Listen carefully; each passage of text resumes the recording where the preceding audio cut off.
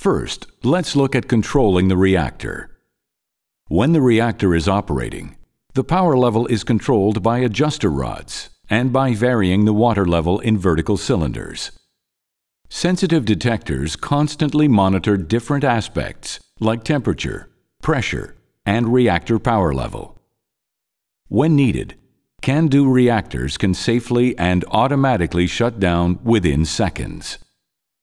Nuclear reactors in Canada have two independent, fast-acting, and equally effective shutdown systems. The first shutdown system is made up of rods that drop automatically and stop the nuclear reaction if something irregular is detected.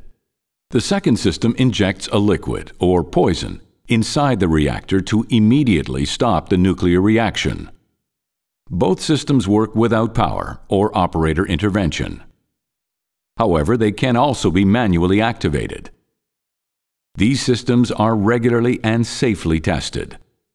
Once a CANDU reactor is shut down, it will stay this way until restarted by the operators in the control room. There is absolutely no possibility of the reactor accidentally restarting on its own after it's shut down. The reactor must be manually restarted. Following shutdown, the amount of energy produced by the reactor decreases rapidly. The nuclear fuel will, however, continue to produce some heat and must be cooled. That heat, called decay heat, represents a small fraction of the heat produced during normal operation.